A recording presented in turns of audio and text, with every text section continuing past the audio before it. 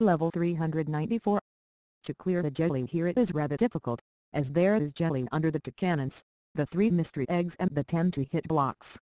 Try to make vertical striped candies to push through the blocks quickly or match candies that at least hit the blocks. Don't worry about the jelly underneath as much as getting to the bottom and setting the cannons off. Once the first cannon is set off, it gives you a good idea of what is left. You need to do the second cannon and whatever is left, you need to clear. The hard pieces on the cannons are the upper left on the left one and the upper right on the right one, so try to drop a horizontal striped candy down here and set it off.